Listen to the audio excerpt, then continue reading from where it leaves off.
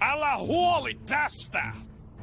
Aion lyödä läpi kaikki nämä hölmöt! Arvostan innostustasi, mutta älä anna sen tappaa sinut ja lähettää takaisin helvettiin. Siellä sinun kuuluisi olla. Mitä yrität sanoa? Ettäkö häviän? Mietin, mistä luottamuksesi kumpuaa. Mistä? Luulisin, että sinulla ei pitäisi olla sitä lainkaan. Olet vaan alaluokan pahis.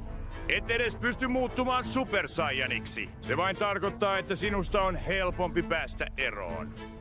Huh. Luokka, kuinka uskallat sanoa minulle niin? Olen keskiluokan soturi. Lisäksi Super Saiyan on legendaarinen soturi. Ei mikä tahansa Saija voi tulla sellaiseksi niin helposti. No, eihän se nyt ihan niin mene vai mitä? Vaikuttaa siltä, että on meneillään alennusmyynti Super Saiyaneille. Vain roskaasi! Niissä olennoissa on jotakin vikaa. Enkä tarvitse jotain typerää muodonmuutosta. Olen tarpeeksi vahva ilman sitä. Saan kaikki muut syömään pölyäni ja näyttämään heille, että mä olen vahvin. Ymmärrän. Joten sillä logiikalla pystyt hoitamaan nämä heikot raukat helposti. Tämä tulee olemaan erittäin viihdyttävää. Olet oikeassa! Katso tarkkaan! Niin näet itse! Olet niin idiootti.